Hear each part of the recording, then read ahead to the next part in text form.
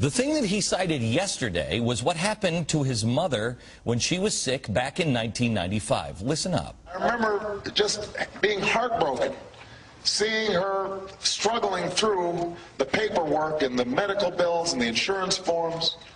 So I've seen what it's like when somebody you love is suffering because of a broken healthcare system.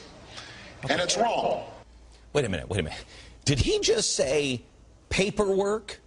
I mean, she got the care she needed. It wasn't about the quality of care. It wasn't that she couldn't get the care. It was about paperwork. I'm not sure what planet President Obama is from,